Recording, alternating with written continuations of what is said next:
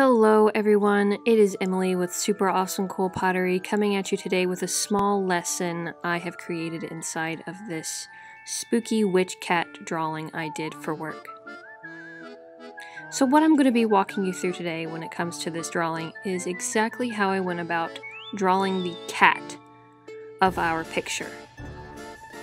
So the very first thing we're going to go over is starting with the head of our cat.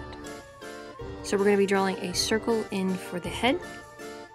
Draw a line down the center of the face, bowing out in the direction the face is facing. This helps where to orient the eyes, nose, and mouth of our cat. The next thing we're going to start going over is drawing the body of the cat. Now since the back of our cat is what's facing us, we can be really, really loose and vague with our shapes.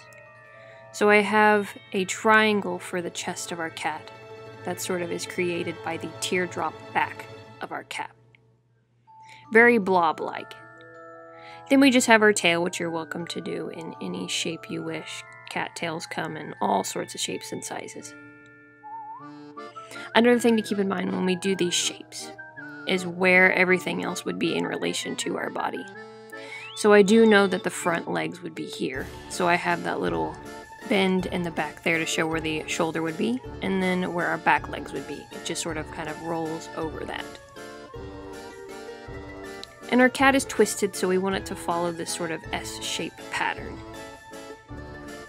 The next thing we want to go over is the face of our cat, which we briefly went over. So we want our circle, and then our line down the center to show which way our face is facing.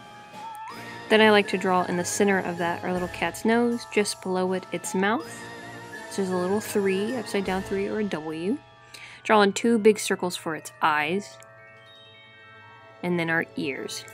Now when it comes to our ears, they are key in showing the expression. So if you have them facing forward, it means alertness or happy. But if our ears are kind of turned backwards where we cannot see the inside, it might mean that the cat may be a little bit on the matter side. So when it comes to animals, the ears are the key to showing the expression of them. So if we wanted our cat to be evil, we might want to do something like that. But we have a happy cat on our hands here, luckily.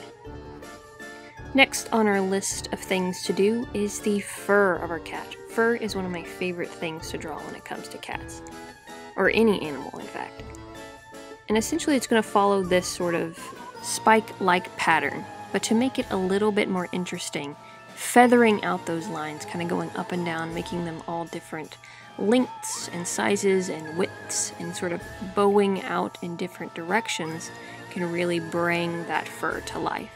So being really loose with it, being really flexible with it can really bring your creature to life. And where I like to place these fur tufts is entirely dependent on you. I like to do them like on the sides of the head and the top of the head, on the chest area, or any place that has a like point to it. So you can see on the back where the legs touch, anywhere where it bends would be a place where the fur would stand out. And that's all I have for you guys today, so I hope you enjoyed that small little tutorial, and I'll let you guys get back to enjoying the video.